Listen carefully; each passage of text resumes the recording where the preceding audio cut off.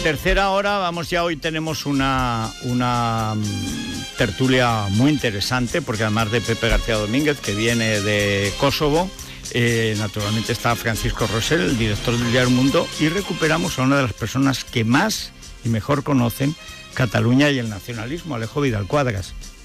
El único que puso contra las cuerdas a Jordi Puyol, la única vez que un partido español, PP o PSOE, ha existido como tal y se ha enfrentado al nacionalismo antes de Ciudadanos. Pues eh, que nos cuente, porque en fin, dicen que más sabe el diablo por viejo que por diablo, aunque todo el mundo sabe que el diablo está en el Vaticano, pero bueno.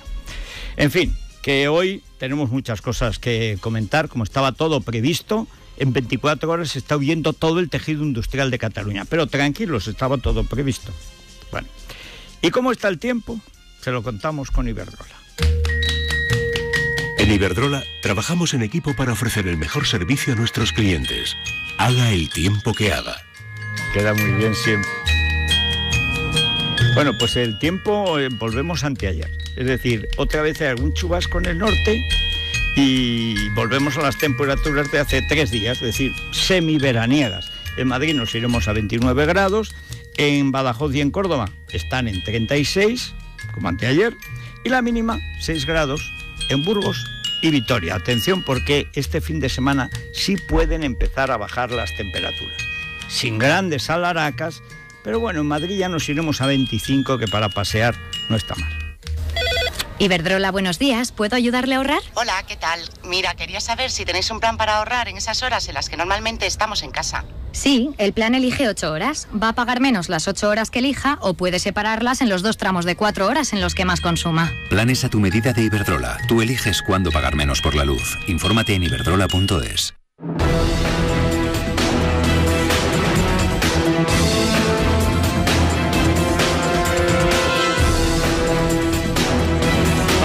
Javier López Tofiño y Sara Sanz hacerles el arqueo de lo que está pasando. En resumen, se lo venimos diciendo desde las seis. Ayer José María Aznar, que hace cinco años, cinco años, publicó una nota diciendo exactamente lo que iba a pasar. Aznar es el que dijo antes se romperá Cataluña que España. Mm, No es rapel, pero acertó. Y sobre todo dijo las cosas que iban a suceder. Un grupo paramilitar o policial convertido en ejército contra el Estado, ya está. Las autoridades rebelándose contra el orden legal que deberían defender, ya está. El gobierno inexistente, las empresas huyendo, ya está. Y claro, como sacó una nota recordando lo que ya dijo y además diciendo que hiciera el favor de hacer algo de una vez o convocar elecciones, si no tiene valor para hacer nada, ¿qué es lo que le pasa? Está paralizado, está muerto de miedo. Entonces, bueno, pues vete. Si aquí ya lo hemos dicho, es decir, bien, Mariano, eres nuestro presidente, mientras sea nuestro presidente, vamos a decir que viva España. Pero como no vas a actuar, te lo dice Felipe González, te lo dice Alfonso Guerra, te lo dice eh, José María Aznar. O sea, ¿quién más te lo tiene que decir? O sea, no pueden resucitar los reyes católicos. Vamos, resucitan los reyes católicos y Fernando el Católico hace contigo un pincho de berberecho. Haz algo. ¿Qué hace ayer? ¿Qué hace ayer don Lamprea? Bueno, pues la verdad es que es una cosa sorprendente. Porque saca una nota Aznar. No tiene importancia, oigan ustedes a bolita de sebo y a bolita de azufre, todos ahí metiéndose con Aznar como si no le debieran toda su vida.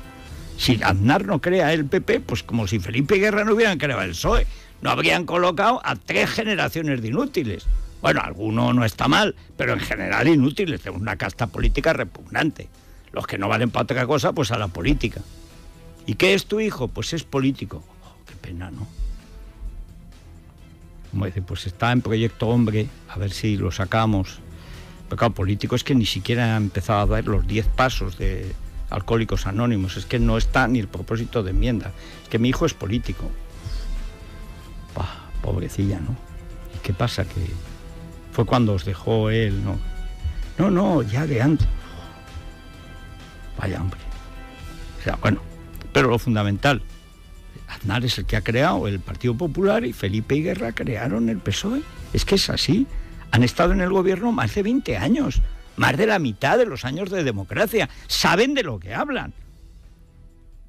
Yo me he peleado con todos ellos en distintos momentos. Pero, hombre, lo que no voy a decir es que Felipe es tonto, que Guerra es idiota y que Aznar es lelo. O sea, no, no. Pueden ser antipáticos, bordes. Y uno es tigrecán y el otro sacamantecas y a mí Felipe me llama los demonios y cosas así. Pero, primero, son españoles. Saben lo que es el gobierno. Tienen experiencia. Cuando todos a la vez le dicen actúa de una puñetera vez, cuando sale el rey diciendo las autoridades están teniendo una actitud inadmisible. Pero son los poderes legítimos los que tienen que actuar ya y sale la nota ayer de FAES, pues dice, bueno, pues va Mariano y en el momento en que el tejido industrial de Cataluña huye, pero huye a uña de caballo, pero huye en 24 horas, porque estaba todo previsto, lo dijo de Guindos. Al empezar la semana no ha pasado nada, el domingo no ha pasado nada, ha sido un triunfo del Estado de Derecho. Así que ayer jueves todas las empresas de Cataluña zumbando excepto las golpistas. Se quedan Planeta y Godó. Esas se quedan, porque están en el golpe. Pero es muy fácil ver a partir de ahora qué empresas catalanas, qué productos compro, los que se van de Cataluña. Porque esos no están en el golpe contra España. Tan sencillo como eso. Y va Mariano, y como la situación está así, como estaba todo seguro, tranquilo, controlado, gran éxito de la ley, del Estado de Derecho, sale el rey diciendo, hasta aquí hemos llegado. Pues va y le da una entrevista a la agencia F. Vamos a ver, convoque una rueda de prensa como es debido. Vaya a las Cortes a decir, voy a tener que hacer, que es lo que van a hacer hoy, hoy, en el Consejo de Ministros, una, una ley a posteriori, es decir, una chapuza, porque no tenían previsto nada. Y está bien que lo hagan aunque sea una chapuza, porque hay que salvar pues a los accionistas y el valor de estas compañías, que la mayoría están en toda España, porque todo el negocio de Cataluña ha sido siempre España y nunca han tenido otro y además nunca lo tendrán. Porque jamás ha sido Cataluña competitiva fuera de España. Jamás, nunca, nunca. Y las pocas empresas medianamente modernas son las primeras que salieron zumbando. El día en que Horizon dijo que se venía a Madrid, vamos, Estaban los planes hechos desde el 9 de noviembre de 2014, todos encargados a, bufetes de negocios. Todos los planes para deslocalizar, como se decía entonces, las empresas. Todos. Pero todas las empresas están participadas por bancos, por lo menos en Cataluña, que es un tejido muy incestuoso. Ahí lo financiero y lo industrial han estado siempre mezclados. Siempre proteccionismo siempre con la protección del Estado, el maldito Estado español, siempre favorecidos por las leyes, siempre.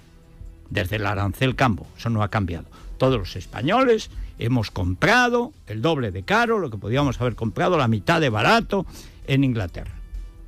Pero que Stendhal, el famoso escritor Henri Bale, vayan a la Wikipedia, tengo un problema con los de Podemos, que nos sigue siempre, que es que tengo que darle siempre la cita.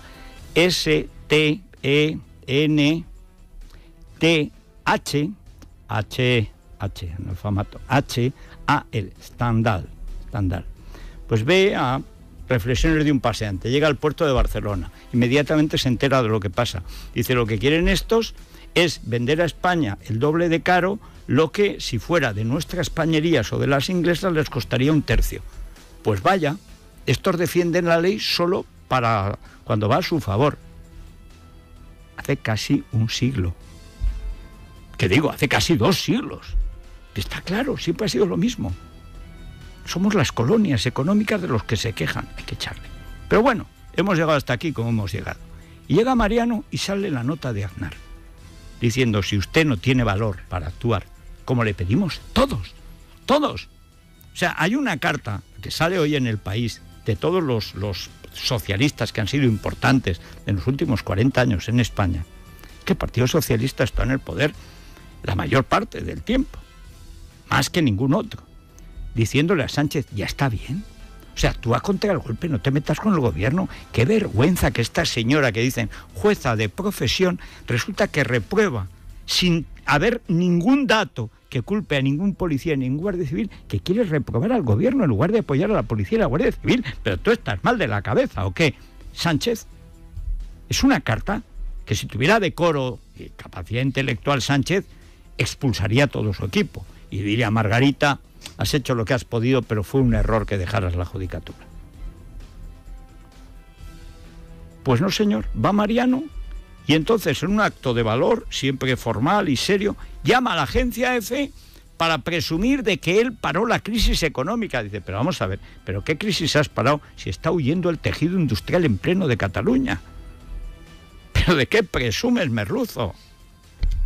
Digo, compañero Besugo, simpático, no sé, cazón, en adobo, claro.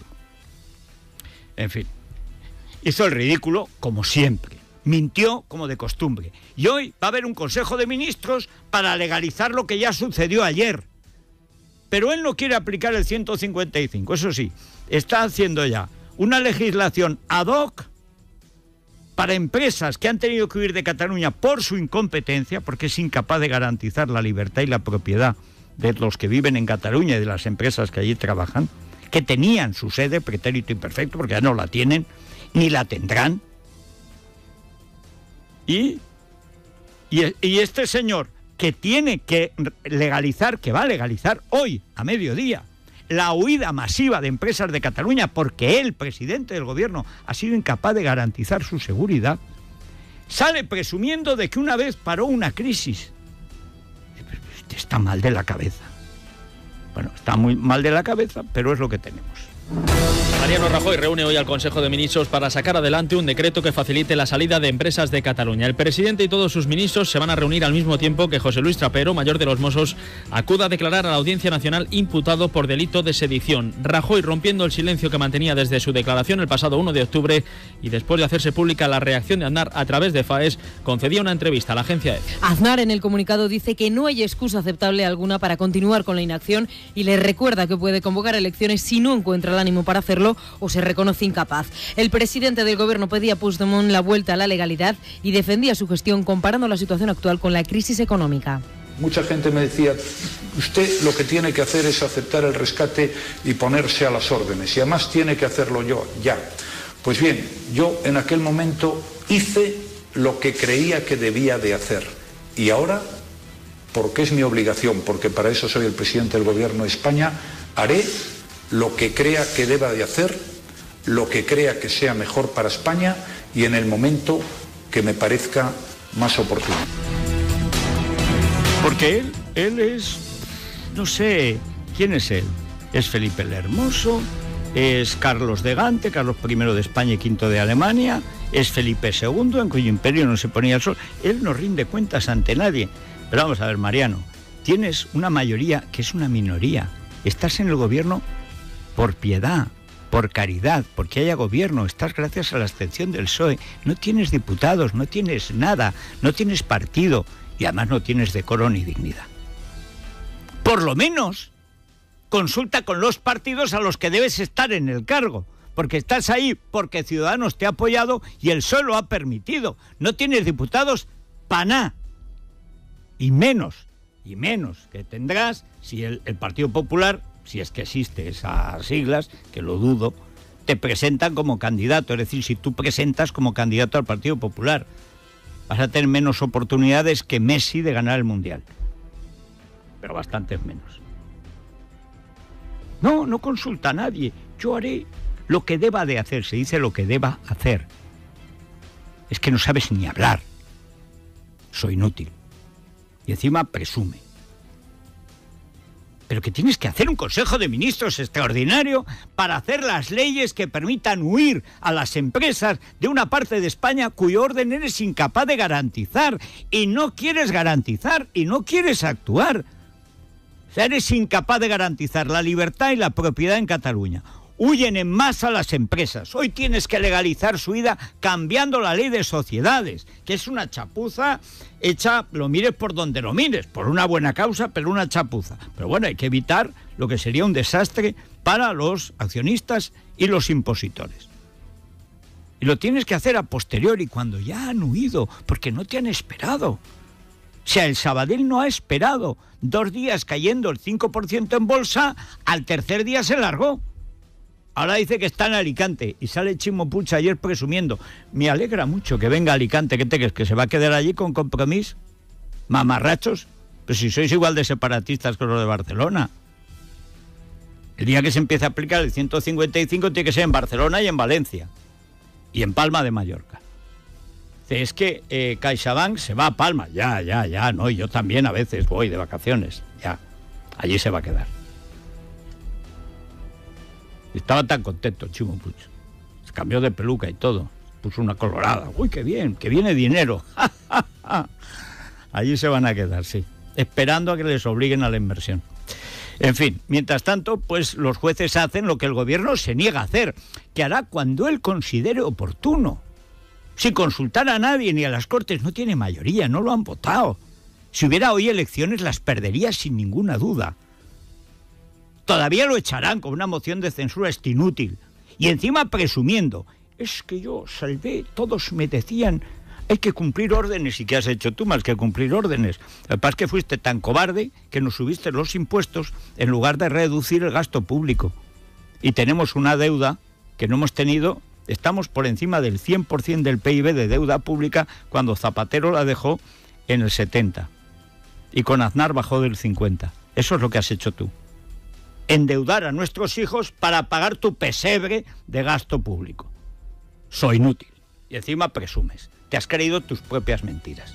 Pero bueno, mientras los jueces hacen lo que no hace él. El Tribunal Constitucional por unanimidad ha suspendido el pleno del lunes donde Puigdemont podría declarar la independencia. Los magistrados dejan sin valor lo que de este pleno pueda salir, pero la presidenta del Parlamento Autonómico dice que todavía no ha sido convocado el pleno en cuestión. Ciudadanos, PP y PSC celebraron esta decisión del tribunal. Escuchamos a Forcadell junto al diputado de Ciudadanos Fernando de Páramo y el popular Javier García Albiol. No sé. Pues em diu què farà no sé. Me pregunta qué hará el Estado español. No lo sé, porque yo nunca pensé que iba a utilizar la violencia el 1 de octubre y lo hizo.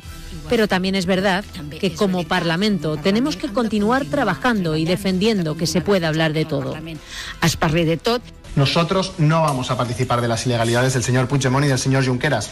Nosotros no vamos a cometer ilegalidades en contra de la mayoría de los catalanes que queremos seguir siendo catalanes, que queremos seguir siendo españoles y que queremos seguir siendo europeos.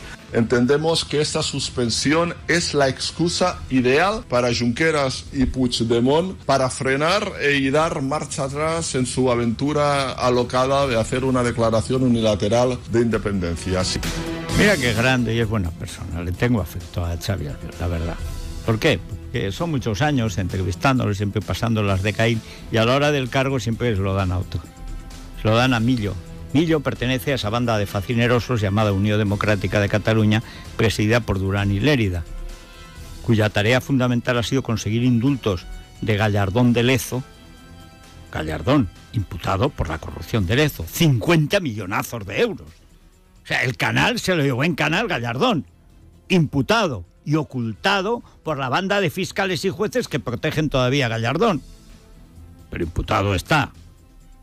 Pues el, el, primer indulto que firma Gallardón, lo primero que hace al llegar es indultar a todos los del partido de Durán y Lleida y Enric Millo.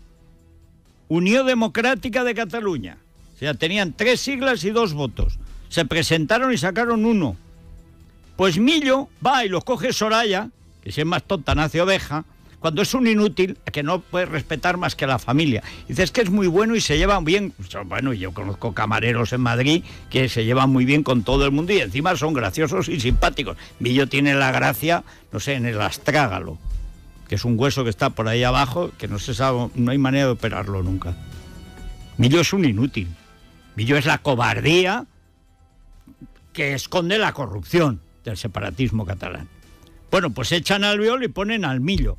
¿Qué ha hecho Millo cuando las cosas han venido mal dadas? ¿Qué hizo Millo cuando la masacre de las Ramblas? Lloriquear. Y el pobre Albiol el otro día lloriqueaba un poco, pero lo he visto entero la película, es porque le aplaude la policía para darle ánimos a un tío dos metros, diga que aplauda, ¡Viva España! Gracias, gracias. Porque hemos llegado a un punto que aquí todo el mundo llora. Yo no sé qué es esto. Que lloren los malos me parece bien, pero en la cárcel. Hombre, lo bueno es eh, poco de emoción, está bien, con el himno, una lagrimita que no se note. Esto, eh. En fin, pero le tengo afecto al Biol. Dice que van a dar marcha atrás, pero si no pueden. Pero que no pueden. Que es que manda la CUP. Que es que aunque quieran, no pueden. Que ya no pueden dar marcha atrás. Podrán decir ganamos un día, ganamos dos días. Es igual, ya no pueden. Y además, aunque pudieran, es igual, hay que machacarlos. Si dan marcha atrás es señal de que están débiles. A por ellos. Bueno, eh, vamos con esto que tenía previsto todo el gobierno. Estaba todo previsto, todos los escenarios previstos. Pero ayer huyeron en masa las empresas de Cataluña y hoy van a legalizar su vida. Fíjense si estaba previsto todo. El Banco Sabadell trasladará hoy mismo su sede a Alicante. El Consejo de CaixaBank se reúne hoy también para estudiar su salida. Según Expansión, próximamente podrían seguir sus pasos Gas Natural y Avertis. La aseguradora catalana Occidente también está barajando su traslado, así como las multinacionales Bayer, Lidl y Volkswagen. Santi Vila, consejero de empresa, rechaza ahora la declaración de independencia y desde la CUP, Eulalia Reguán pide que se boicotee a los bancos, mientras en la sexta, entrevistado por Ferreras, Junqueras negaba una fuga de empresas. Vaticinios de este tipo se han hecho muchas veces. De momento no han sucedido nunca. Es en una economía abierta, en una economía global, en una economía donde nosotros y cualquier empresa trabaja con bancos de cualquier lugar del mundo. Estamos en la época de Internet, entre otras cosas. Por lo tanto, que las empresas tomen las decisiones que crean más oportunas. Al menos hasta el momento, y estos son hechos y no especulaciones de futuro, estamos en récords históricos de inversión extranjera directa. Estamos en récords históricos de exportaciones. en récords en la nueva moneda de Cataluña, que es el Bitcoin. Pero vas a estar en récords. Estamos en récords de idiotez. O sea, se, te, te, huyen los dos primeros bancos de Cataluña y estás en récords históricos. Pero vamos a ver, Ferreras, como está en el golpe, como Planeta y Godó son parte del golpe, claro, esos no se van. Esos se quieren quedar allí con la tribu. Luego se los merendarán igual, los caníbales, pero es igual, siempre ha pasado igual. Pero claro, Ferreras no le pregunta, ¿pero usted no se reunió ayer? Porque es que se reunió con los de la Caixa y con los del Sabadell para implorar que por Dios bendito no se fueran. ¿Por qué no le pregunto eso a Ferreras? ¿No lo sabe? Hombre, claro que lo sabe. Pero como está en el golpe, lo oculta. Claro que se reunió. ¿Qué le dijeron los otros? Demasiado tarde. Demasiado tarde. ¿Ya estamos fuera? ¿Tú qué te creías, Vizconde? O sea, ¿qué te creías? En fin. Eh, bueno, que Trapero declara hoy, espero que lo manden directamente a la cárcel. Pero vamos con las eh, concentraciones en defensa de España, ya que el inútil de la Moncloa, que el que lo tenía todo previsto, no tenía previsto nada, bueno, pues ya que las autoridades, bueno, salvo el rey, hay que reconocer que le ha dado una vuelta a la situación. Aquí la gente ya se ha animado y ya tenemos al menos una, una autoridad. No hay gobierno, no hay oposición, pero bueno, al menos el rey. Así que todos venga, con la bandera a la calle. Este fin de semana se han convocado en Barcelona y en Madrid dos manifestaciones en defensa de la unidad de España frente al separatismo. La concentración de la capital será mañana a las 12 en la Plaza de Colón y el domingo ya en Barcelona, manifestación organizada por Sociedad Civil Catalana bajo el lema Basta, recuperemos la sensatez. Partirá a las 12 del mediodía de la Plaza Urquinaona hasta la sede del gobierno catalán. Bueno, la, el, el lema es una idiotez, evidentemente. Eso de pro... Pero es que hay, a, alienta el mefítico espíritu, alitósico espíritu de Millo, o sea, de Soraya. Disolvieron su propia manifestación, los de Sociedad Civil Catalana, y salieron solo por redes sociales a la calle 15.000 personas bajo la lluvia en Urquinaona, bajando vía Layetana hasta ahí tomaron la Plaza de San Jorge. Y ahora, Sociedad Civil Catalana dice pro. ¿Cómo que pro? ¿Cómo que pro? ¿Pero cómo que pro? La sensatez, ¿qué es la sensatez? ¿Tomar el té con el conde de Godó? O sea, pero... ¿Pero, pero qué os creéis? Eh, es igual, es igual. En fin, hicieron en su día lo que pudieron. Eh, van al rescate. Y lo asombroso, y esto es después del mensaje del rey, lo más importante y mejor que le ha sucedido a España, es que va a leer el manifiesto en defensa de España en Cataluña Mario Vargas Llosa, premio Nobel, que ha vivido años en Barcelona, coincidí con él, él vivía arriba, yo abajo. Pero en fin, liberal, peruano, español, universal. Él va a leer el mensaje, lo que no hará Dastis el Plastis, lo que no hará Méndez de Humo, lo que no hará Bolita de Azufre, lo que no hará el Don Vagancio. Tienen que venir Mario Vargas Llosa a defender España en Barcelona. Porque ¿qué va a hacer don Prudencio Galvana? Pues tirarse en la hamaca. Es, es cuando tenga que hacer... es, yo sé lo que... ¿Tú qué vas a saber? Inútil. No sabes ni decir deber. Bueno, deber, claro, lo incumple todos los días, como lo va a decir bien. Pues ahí está Mario Vargas Llosa, sí señor. Será el Nobel de Literatura, Mario Vargas Llosa, quien leerá el manifiesto a las 12 en Barcelona. Escuchamos al presidente de Sociedad Civil, eh, Mariano Gomá, al coordinador de los traslados desde Madrid a Barcelona y a Mayor Oreja, presidente de la Fundación Valores y Sociedad, y Ana Velasco Vidal Abarca, patrona de la, patrona de la Fundación Villa Cisneros. No hay un billete de AVE mm, para entrar en Barcelona eh, disponible. Eh, están fletándose autobuses mm, de Cataluña como jamás se habían fletado autobuses para venir a la manifestación de todas las provincias, pueblos de Cataluña, ciudades 500, 600 personas ya apuntadas. ¿eh? O sea, hay un montón de hay un montón de gente. De hecho, hoy o sea, hemos confirmado dos autobuses más esta tarde. Eh, bueno, nuestro objetivo son 20, 20 autobuses. Lo pudimos hacer en su momento y lo podremos hacer si somos capaces de ir poco a poco avanzando en una movilización que será creciente, que tiene que ser creciente, pero que ya hay que arrancar y empezar desde ya. Lo grave es que los españoles nos estamos movilizando y estamos yendo por delante, por delante de, del propio gobierno, que debería ser el que hubiera atajado esta situación muchísimo antes. Nada, la nación nunca puede esperar a que el Estado haga algo. La nación es anterior y posterior al gobierno. La nación como hecho político, como grupo de ciudadanos conscientes de sus obligaciones y defensores de sus libertades, tiene que defenderlas. ¿Nos defiende Mariano? ¿Cómo ha defendido Mariano al Banco Sabadell? Pues dejándolo tirado, como a todo su partido. ¿Pero qué ha hecho Mariano con Cataluña? Pues lo mismo que ha hecho con el PP. Dejarlo tirado, pero si es lo suyo, si no ha hecho otra cosa en su puñetera vida. ¿Qué ha hecho con Aznar, al que le debes todo? Apuñalarlo. ¿Qué ha hecho con el PSOE? Traicionarlo. Digo el PSOE, no la pandilla de mangutas que hay ahora. ¿Qué ha hecho con Podemos, enemigos de España? Favorecerlo. ¿Quiénes son los medios de comunicación de Mariano? ¿Los golpistas? La Sexta, la Cuatro y el Conde de Godó. Estos son los medios de Mariano. Pero si el jefe del golpe es Mariano, lo que pasa es que no se ha enterado. Estaba dormido cuando firmó. En fin, una pausa.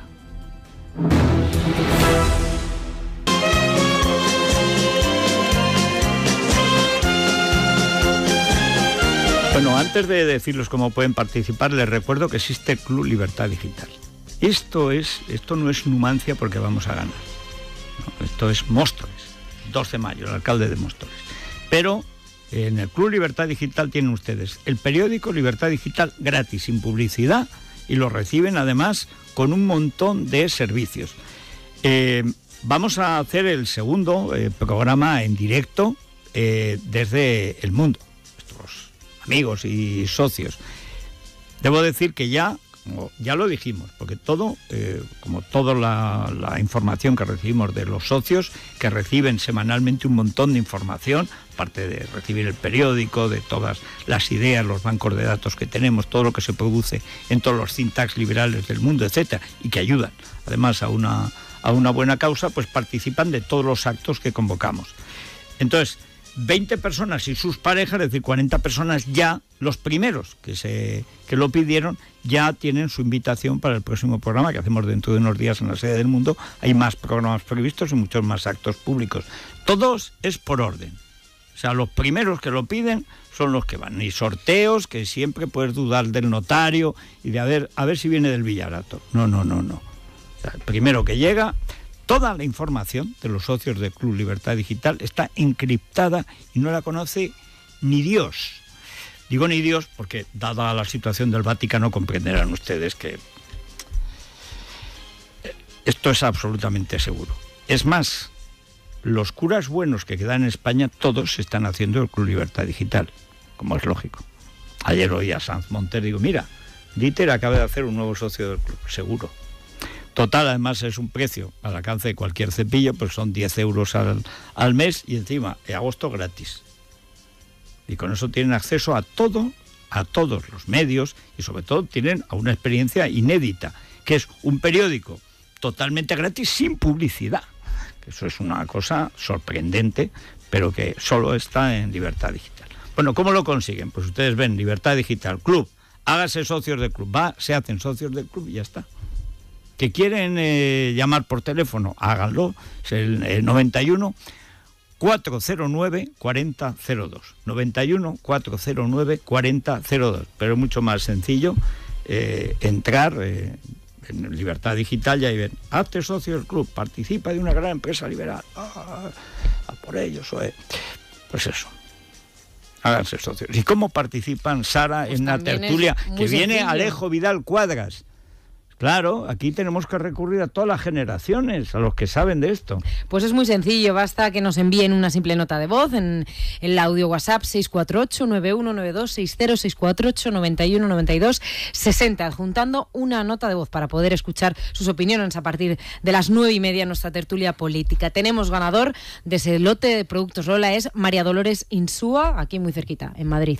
Pues eh, María Dolores, vas a ver qué mandarinas como vienen este año, que son como pelotillas, y qué bien, que quitas la piel y no te manchas. Aparece mucho la naranja, ¿verdad? Pero la naranja siempre acaba cayendo una gota por aquí, eso es un hecho. Yo aprendí en el colegio, los becarios nos llevan a tal, a cortar la naranja con cuchillo y tal, ningún problema. Si quiero, no me mancho. Pero quieras que no, como huele tan bien la piel de la naranja, de la mandarina, pues tienes la tendencia infantil a meter el dedito y siempre acaba la gotita con la mandarina, ¿no? Y este año vienen con unas pelotillas que haces así, perfecta. María Dolores se llama. María Dolores Insúa. María Dolores, Lolita Lola, Insúa, además, qué nombre tan bonito, qué español. Venga, eh, Iberia. Iberia nos recuerda hoy, Federico, fíjate qué buen día. Hoy es el Día de la Sonrisa. Desde 1999 se celebra cada año el primer viernes de octubre. Desde Iberia, pues quieren enviar una gran sonrisa y desearnos un feliz fin de semana. Pues muy bien, se lo... Pero manifestando, ¿eh? con la bandera de España. Vamos a la tertulia. Es